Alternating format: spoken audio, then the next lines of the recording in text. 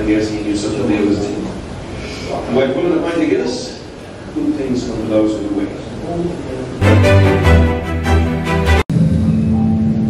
Here at St James's Gate, we've been working with Irish barley farmers and maltsters for generations.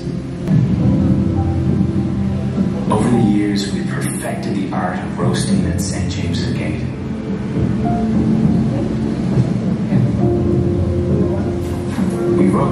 Exactly 232 degrees. Any higher, the barley catches fire. Any lower, the beer won't develop its unique character.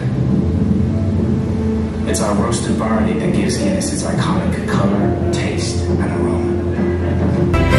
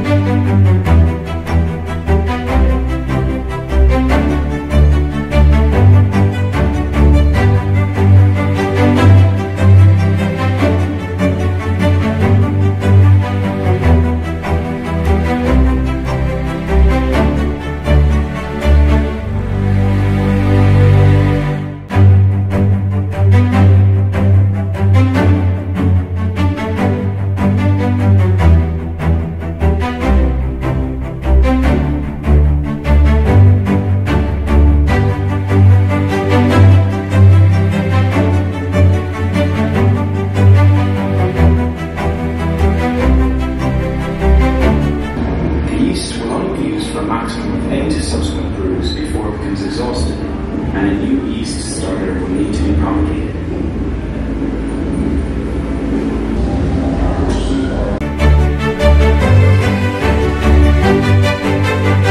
And to keep the barges off through the bed, they were built with a very shallow drive.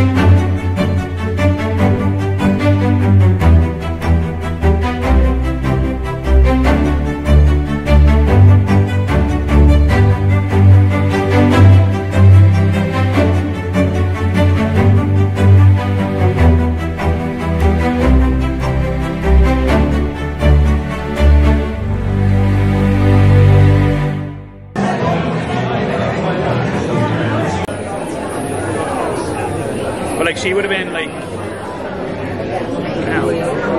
Joy!